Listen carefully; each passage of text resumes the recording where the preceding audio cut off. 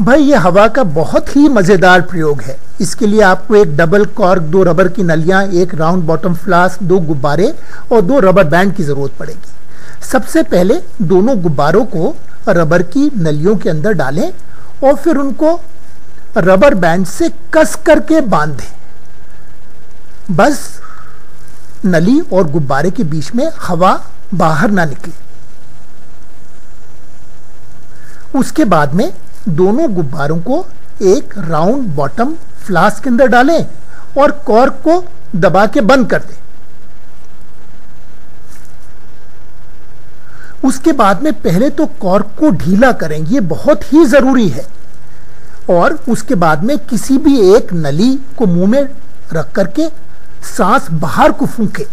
अब बाहर से हवा इस फ्लास्क के अंदर जाएगी और गुब्बारे को फुलाएगी। उसके बाद में आप कॉर्क को दोबारा बंद करें। ये बहुत ज़रूरी है। आप आप किसी भी एक नली से में फूंक करके या सांस बाहर खींच करके दोनों गुब्बारों को फुला सकते हैं या उनकी हवा कम कर सकते हैं। यहाँ पर आप उनका क्लोजअप व्यू देख सकते हैं। सिर्फ़ किसी भी एक नली में फूंक करके या सांस खींच करके उसके बाद में आप एक गुब्बारा निकाल दें और फिर कॉर्क को दबा के फिट कर दें। अब दोबारा ये एक बंद सिस्टम बन जाएगा। अब किसी भी एक नली में, नली से फूंक करके या सांस खींच करके आप गुब्बारे को भर सकते हैं या उसकी हवा निकाल सकते हैं। क्यों? है ना? बिल्कुल रोचक प्रयोग।